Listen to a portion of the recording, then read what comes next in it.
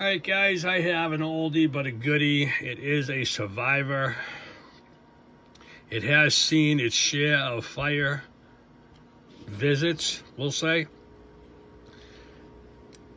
This thing does go up and down, but as you can see, it has been in a few fires. And this thing is just barely hanging on. I don't think I'd want to climb those stairs. What do you think? Oh my God. But everything else is up. Oh, I almost said it. That's cool. Everything else is there. Great tires that barely move. Little suspension. Cool. Loving it. And it is a majorette Pompier, uh, maybe from France. All the numbers right there.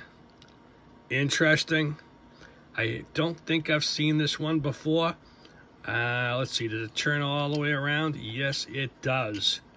Really, really cool. Like I said, Survivor piece, guys.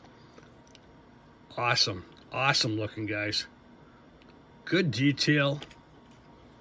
Like I said, could be cleaned up. A little bit of, uh-oh.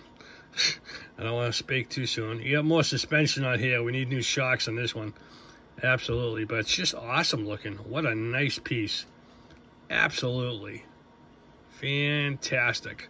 Love the old fire engines. From France, Majorette, Pompier, if I'm saying it right. What do you think, guys? Let me know what you think. Drop me a line. And if you got more information than me, I want to know. Thanks for guys.